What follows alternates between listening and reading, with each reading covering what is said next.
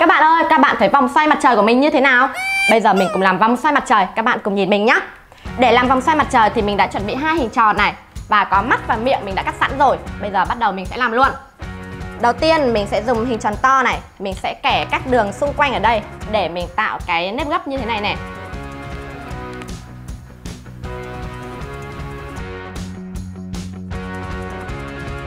Sau khi kẻ xong thì mình sẽ lấy kéo mình cắt theo đường kẻ.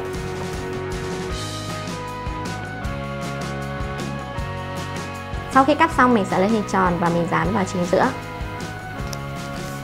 Bây giờ thì mình sẽ gập những cái rìa ngoài lại. Gập theo hình tam giác các bạn nhé.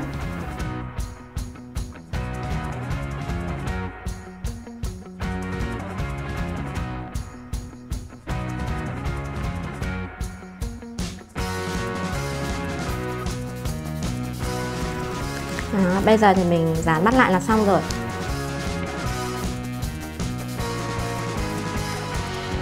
Bây giờ mình còn dán miệng nữa. Sau khi dán miệng xong thì mình sẽ đưa cái vòng xoay lên phía trên này. Nhớ đấy các bạn nhé Mình sẽ chọc một cái lỗ ở giữa này, Sau đó cho vào. Bây giờ các bạn cùng xem thành quả của mình nè. Teng teng, Các bạn nhìn nè. Đó, một lúc mình có thể chơi được hai cái luôn. Rất là đơn giản đúng không các bạn? Bây giờ thì xin chào các bạn.